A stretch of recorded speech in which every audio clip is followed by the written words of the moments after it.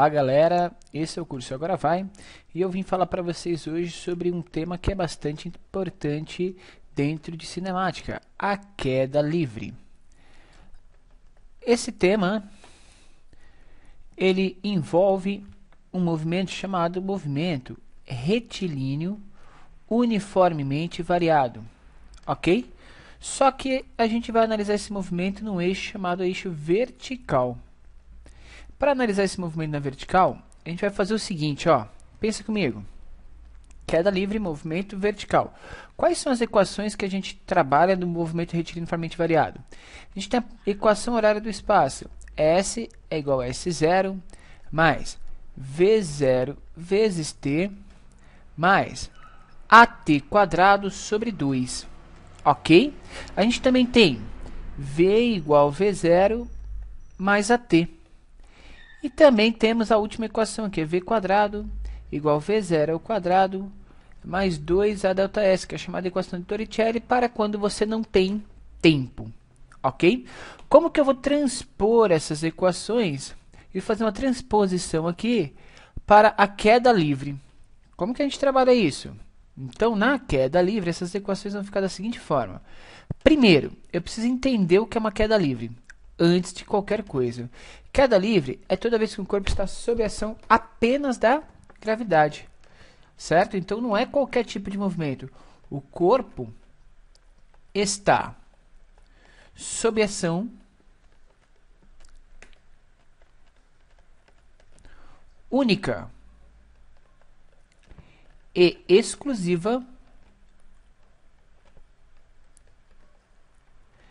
da força gravitacional.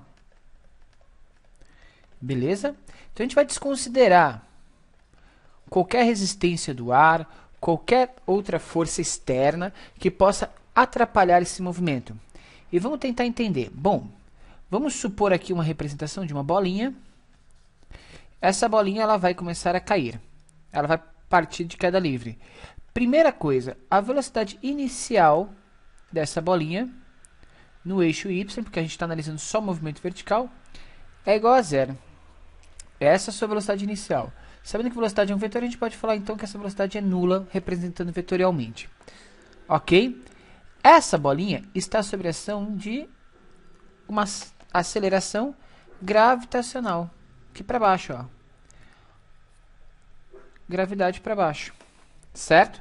Só que toda vez que a gente vai tentar representar este movimento em um plano cartesiano, aonde aqui seria o y, aqui seria o x, só para a gente ter uma ideia, a gente sempre adota ou costuma adotar como referencial zero aqui embaixo, e esse referencial vai crescendo para cima, ok? Então a gente tem um crescente para cima. E a gravidade está contra esse referencial. Então, a gente vai utilizar essa gravidade nesse estudo, se a gente adotar o referencial dessa forma, como negativa, porque ela é contra o referencial. Beleza? Partindo disso, a gente pode reescrever essas equações para queda livre. Essas equações na queda livre ficariam assim, ó. Ao invés de S, eu vou usar Y para falar que a gente está no movimento vertical na altura. Y é igual a Y0 mais V0Y vezes o tempo. Menos, esse menos vem porque a gravidade está contra o nosso referencial adotado nesse problema. G vezes t ao quadrado dividido por 2. Tudo bem? Mas lembra que eu acabei de falar para você que a velocidade inicial é zero? E quando esse cara aqui vale zero, o t aqui também vai valer zero. Isso aqui tudo vai valer zero. De modo então que y é igual a y0 menos g vezes t ao quadrado dividido por 2. Mas a gente tem uma outra questão. Quando esse corpo toca o chão, o y final é igual a zero, porque não tem altura. Esse y representa altura. E se a gente for representar isso aí chegando ao chão, isso aqui vai ficar zero é igual a y0 menos gt ao quadrado sobre 2. Ou seja, y0, que é a altura inicial, é igual a g vezes t ao quadrado dividido por 2. A maioria dos exercícios vai utilizar g igual a 10 metros por segundo ao quadrado. A maioria, eu não estou dizendo todos. Isso é só um arredondamento dessa aceleração gravitacional. Mas olha só que interessante. Essa altura, esse y0 que é a altura da onde o corpo está caindo, então poderia ficar 10t ao quadrado sobre 2. Ou melhor, a altura ficaria 5 vezes t ao quadrado. Ou seja, a altura de, de onde o corpo cai depende apenas do tempo de queda. Ok? Então é fácil a gente achar a altura. Então eu posso escrever lá que a altura do corpo é igual a 5 vezes t ao quadrado. Olha que bacana que ficou isso daqui. A gente conseguiu simplificar a primeira equação. Certo? E a segunda equação, professor, dá para simplificar? Dá sim. Vamos simplificar ela. Vou dar uma puxadinha aqui. Pá. Vamos lá. Segunda equação, gente. Ela é V igual a V0 mais AT. No movimento retilíneo uniformemente variado. Transpondo ela aqui para o movimento vertical, ficaria que Vy, que é a velocidade final, ou seja, a velocidade instantes antes deste corpo tocar o solo, é igual a V0y menos, por causa da gravidade, o referencial que a gente adotou, a gente já conversou sobre isso, vezes gt. Lembra que a velocidade inicial é zero na queda livre? Então eu posso dizer que a velocidade final é igual a menos g vezes t. De modo, então, que velocidade final é igual, se eu adotar a gravidade igual a 10, fica aí menos 10 vezes t. Ok?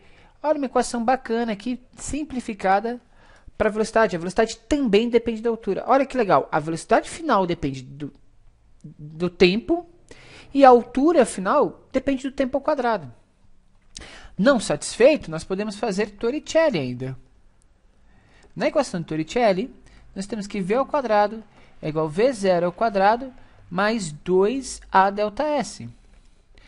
Aqui a gente tem Vy ao quadrado é igual a V0y ao quadrado menos 2 vezes g vezes delta y. Professor, por que negativo? Porque a gente adotou o referencial aqui da gravidade. Ó. Velocidade inicial é zero. Então vai ficar Vy ao quadrado menos é igual a menos 2 vezes g vezes o delta y. Espera aí. Isso aqui é interessante. É. Por quê? Porque essa última equação também dá para simplificar. v y ao quadrado é igual a menos 20, porque é 2 vezes 10, vezes delta y. Lembrando que isso vai depender se a gente utilizar essa equação a gravidade igual a 10. Pessoal, então as equações da queda livre não são equações novas. Apenas são equações que a gente consegue simplificar no movimento retilíneo variado. Mas guarda aí, ó, essas equações simplificadas. Seria o quê?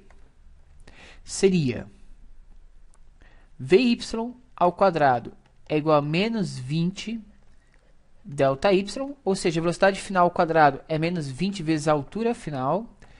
Vy é igual a menos 10 vezes t, ok? E vamos dar uma espiadinha lá. y final é 5t quadrado. y é igual a 5 vezes t ao quadrado. Essas três equações vão ajudar a gente muito na resolução de exercício, porque agora fica simples. Sei lá, se me perguntam assim, ó, eu tenho um corpo que está caindo, então a bolinha, ela está caindo, ok? Em queda livre, isso aqui é uma queda livre, certo? E eu sei que a altura dela é de 30 metros. O que, que eu consigo responder a partir disso? Eu consigo responder que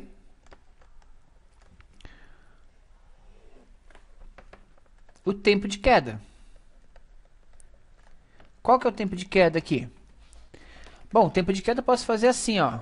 Eu sei a altura, não sei? Então eu vou pegar essa equaçãozinha, ó. A altura é igual a 5 vezes t ao quadrado. Olha lá, a altura é 30, que é igual a 5 vezes t ao quadrado. 30 dividido por 5 é igual a t quadrado. De modo que o tempo de queda é igual a raiz de 30 dividido por 5 é 6.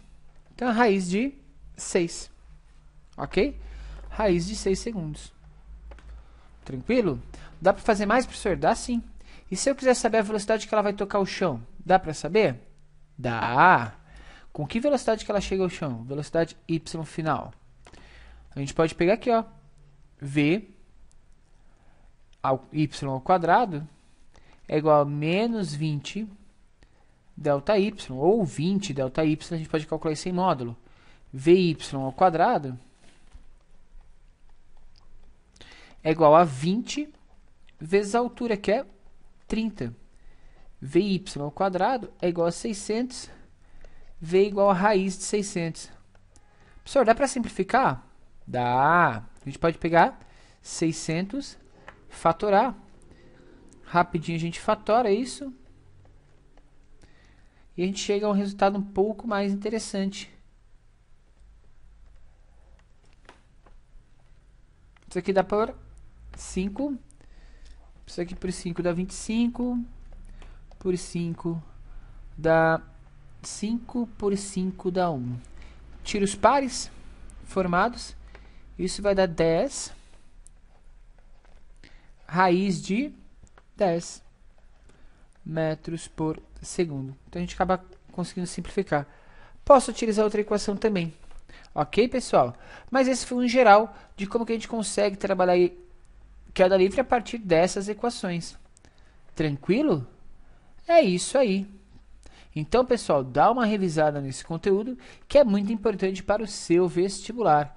Queda livre. O corpo está sob ação única exclusiva da gravidade, ok?